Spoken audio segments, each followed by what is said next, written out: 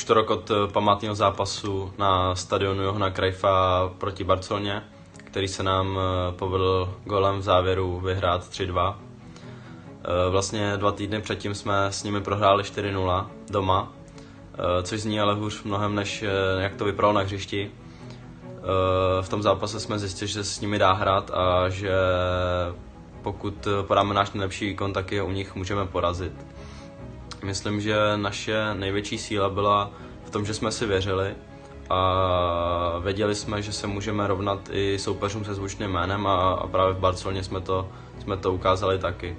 Začátek se nám úplně nepovedl, prohrávali jsme 1-0, ale, ale jeden z nejdůležitějších momentů bylo, bylo srovnání těsně před poločasem, kdy Cherry proměnil penaltu. Co jsme si říkali o poločase si, si vůbec nepamatuju, ale určitě to bylo něco ve smyslu, že na ně máme a že, že když tak budeme pokračovat, tak, eh, tak to určitě dopadne dobře.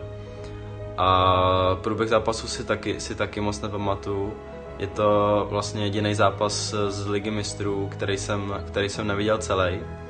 Samozřejmě góly a nějaký momenty jsem viděl, ale celý zápas jsem nikdy zpětně neviděl. Eh, pak eh, přišel Kosiho gol na 2-1. Eh, červená karta pro, pro Barcelonu, takže dohrávali v deseti. A bohužel pět minut před koncem jsme, jsme dostali gol a bylo to 2-2. Byla to docela rána, protože už jsme, už jsme sahali po vítězství a najednou 2-2.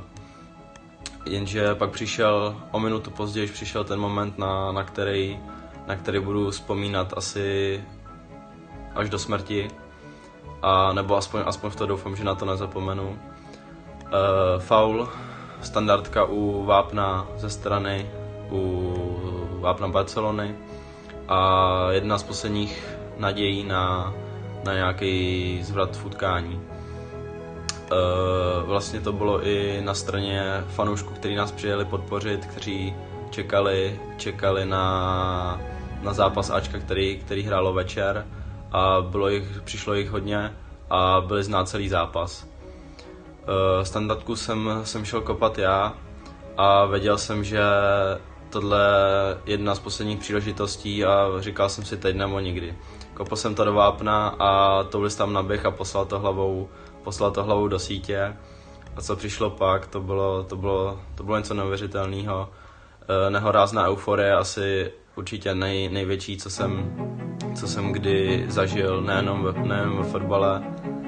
A jenom když rozběhli jsme se za emoce, úplně explodovali, rozběhli jsme se za fanouškama a radost byla neuvěřitelná. A jenom teď, když o tom mluvím, nebo když se na to dívám, na ten gól, nebo možná spíš na ty oslavy toho gólu, tak uh, mi běhá úplně husina po celém těle.